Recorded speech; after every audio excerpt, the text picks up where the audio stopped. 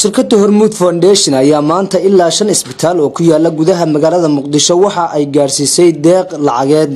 Dadka isbitaalada ku jira ee xanuunsanaya ayay maanta shirkada hormuud foundation waxa ay qofkiiba siisay boqol doolar cabdulaahi nuur cabdulaahi foundation oo ah gudoomiyaha shirkada hormuud foundation ayaa la hadlay saxaafadda isagoona sheegay in ay shirkada hormuud uga gol leedahay in ay afur ka dhigtaan inta lagu guda jiro bisha barakaysan ee rabadlaan salaan kadib maanta waxaan qabanaynaa barnaamijkeenii labaad.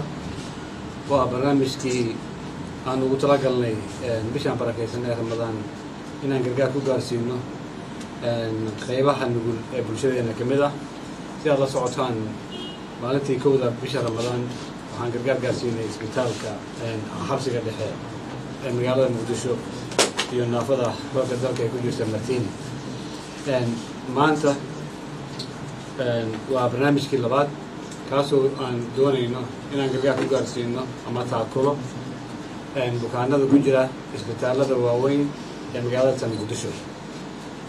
Sida isbitaalka lasareti kaydsaney banaadir madiino iyo daynil dabcan barnaamijkan aan dadka ku jiro isbitaalada ama inta nuglee bulshada ah aan ku kaalmaynayno ama aan ku caawinayno ma ahan markii ugu horreysay aan samaynayno dabcan waa barnaamij sanad kasta dhaca waa barnaamij kaalmada ama garbisaagaasi aan ku xidhnayna xitaa bisha barakaysan ee ramadaan.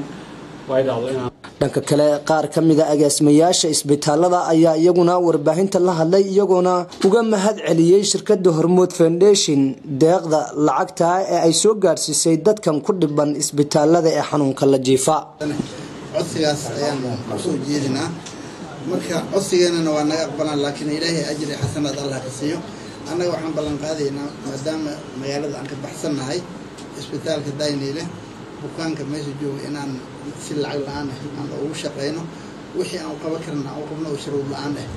Ilaahay agtiisa ballantaas ka qaadnay waana fulnayna insha allahu tacaala waana mahadsantihiin xiliyadan oo kale oo bilaha barakaysan haday noqon lahayd soonka iyo iyo ciidaha intaba waa ay noo imaan jireen. Marka maantana waa tiibay la mid tahay. Runtii shirkaddan hormood foundation waxaa naga dhexeeya xiriir aada iyo aada wanaagsan. Isbitaalka iyo iyo annaga naga dhexeeya. Mar kastana waa waa meelaha aan ku tashanno oo iyo wix la mid ah.